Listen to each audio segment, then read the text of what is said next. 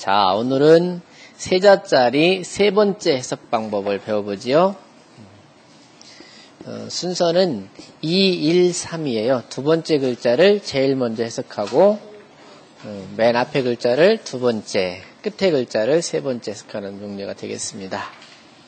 한번 한자 읽어볼까요? 기다릴 때, 기다릴 때, 기다릴 때, 기다릴 때, 꽃 화, 꽃파, 마실 음, 마실 음, 마실 음, 당할 당, 당할 땅, 달월, 달월, 노래가, 노래가, 당할 당, 당할 땅, 밤야, 밤야, 잘숙, 잘수, 기다릴 때, 기다릴 때, 아침 조, 아침 조, 일어날 흥, 일어날 흠, 하여금 사, 하여금 사, 거울경, 거울경, 빛을 조, 빛을조, 써이, 부채선, 휘두를 휘, 휘두를 휘, 오를 등, 배주, 위험 위, 나갈 취, 나같이, 술에 거, 편한 안, 심을 종, 매화 매, 매화매, 드물 소, 드물소, 이 소자는 성글다라는 말이 있는데요. 드물다 하는 게 좋겠어요. 여기 드문드문. 심을 재, 심을새, 국화국, 국화후, 빽빽할 밀, 빽빽할 밀, 안을 포, 안들포, 손자 손, 손자손, 앉을 좌, 안들자, 업을 부, 어불부, 아우제, 아우제, 설립. 네, 한번 읽어보시죠. 음, 대화음하고 대화음하고, 당월가하라. 당월가하라, 당야숙하고 당야숙하고, 대조흥하라. 대조흥하라, 사경조요 사경조요, 이선휘로다. 이선휘로다, 등주위하고,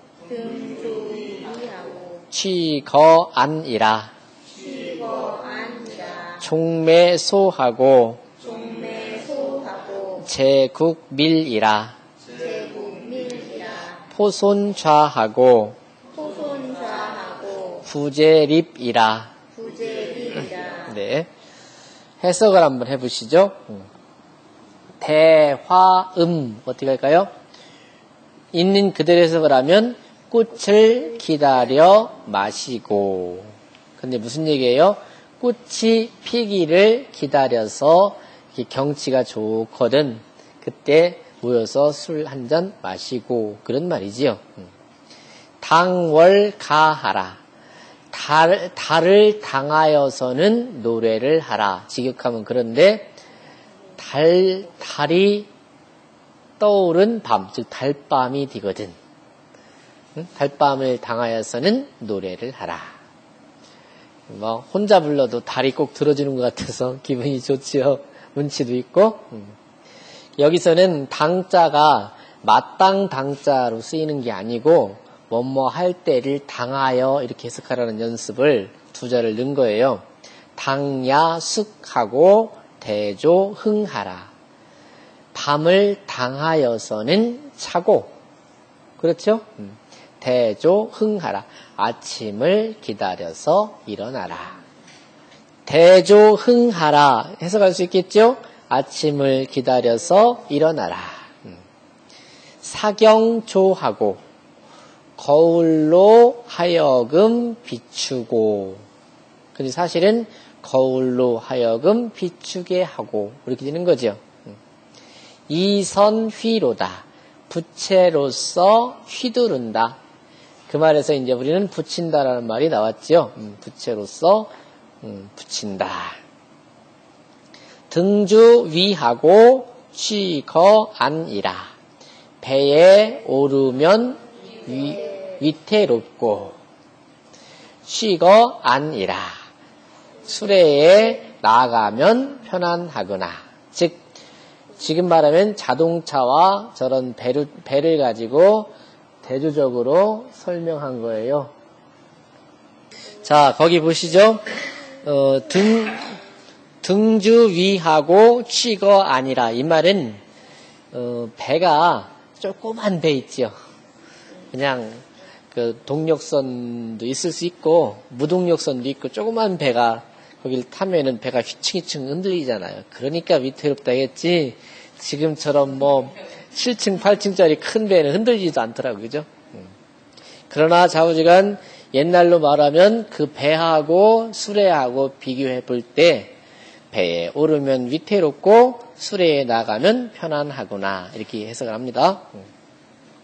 종매소하고 제국밀이라 매화를 심으려면 드문드문 심고 이렇게 해야 되겠네요. 제국밀하라 국화를 심으려면 촘촘히 심어라. 아하 알았습니다.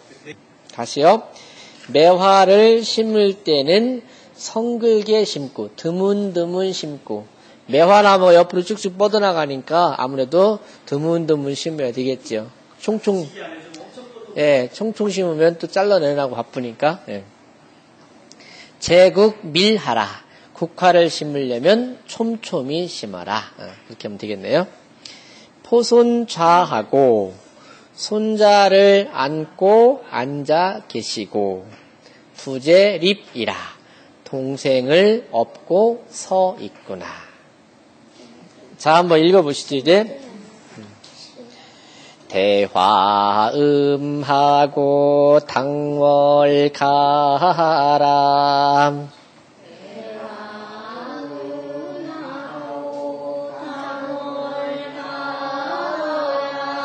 당야숙하고 대조흥하람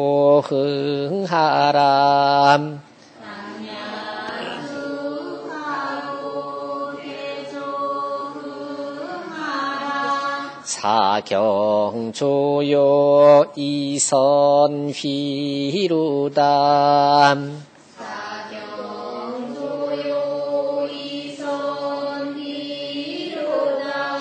등주 위하고 취거 아니람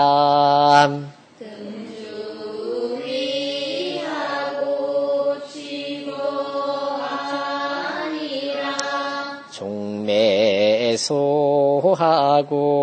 제국밀하람